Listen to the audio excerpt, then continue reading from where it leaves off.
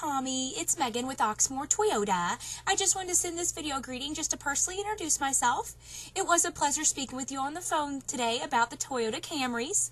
I'll go ahead and update your file and I'll just try you back in a couple days and hopefully we can get you out here to appraise your vehicle.